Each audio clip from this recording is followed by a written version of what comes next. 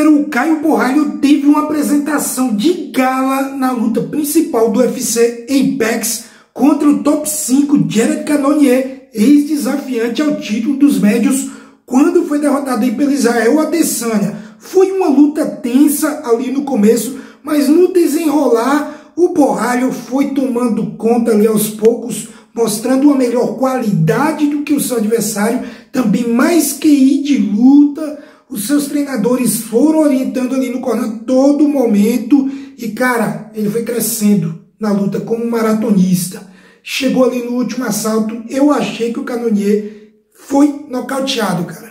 Aquele knockdown ali, se eu sou juiz, eu parava a luta ali. Na minha opinião, se você discorda, pode colocar aqui no campo de comentários, cara. Mas ali ele já caiu acabado. Beleza, que depois ele resistiu e tal. Ok. Mas ao meu ver, foi ali uma perda de tempo do árbitro deixar rolar aquilo ali. Estava na cara que ele não ia resistir. E outra, tá comprometendo a integridade física do lutador à toa, porque a luta estava na mão do Caio Borralho.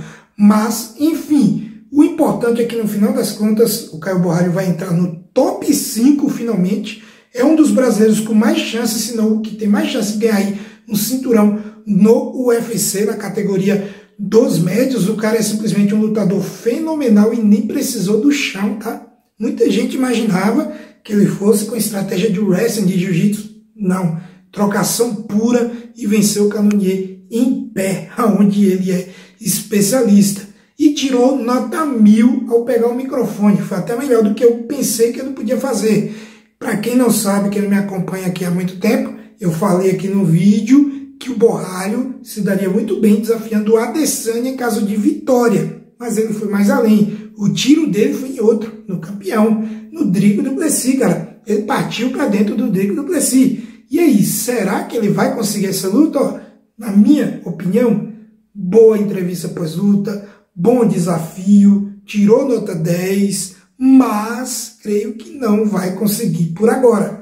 Acho que ele vai precisar de mais uma rodada, mais uma vitória aí para conseguir o title shot. Porque a gente tem o Sean Strickland na frente e ainda temos um outro brasileiro, o Alex Poitin, que é atual campeão meio pesado, que, que já reforçou que quer sim descer para os médios, que não estava de zoeira não. Ele quer descer para os médios para disputar o cinturão lá. O Alex Poitin é hoje o lutador com mais moral dentro do UFC. Se ele quer, ele vai conseguir. Então tem dois aí na frente do Caio Borralho. Ele vai precisar de mais uma luta a não ser que ele queira sentar e esperar. Não aconselho esse tipo de situação. Vai lá, vence mais uma luta, seja o desafiante número um, sem conversa.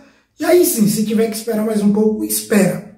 Eu acho que seria perda de tempo ele achar que vai disputar o cinturão na próxima rodada e ficar esperando. É a minha opinião. Agora eu quero saber de você que está do outro lado me assistindo. Qual a sua opinião sobre a atuação do Borralho, sobre quem deve ser o seu próximo adversário, se ele tem que esperar, se ele tem moral o suficiente para esperar o desfecho da categoria e já ir direto para a disputa de cinturão, ou concorda comigo que ele precisa de pelo menos mais uma rodada ali para garantir, para fincar a bandeira de uma vez. E se você acha que ele precisa de mais uma luta, com quem seria? Minha opinião, Israel Adesanya mantenham a opinião e acho que isso é o que vai acontecer. Eles vão ser emparelhados. Mas você pensa em um outro tipo de futuro aí para o Caio Borralho? Coloque aqui no campo de comentários, se inscreva se ainda não for inscrito, vai deixando o like se gostou do conteúdo, isso ajuda demais na divulgação aqui do vídeo e do canal e não lhe custa nada.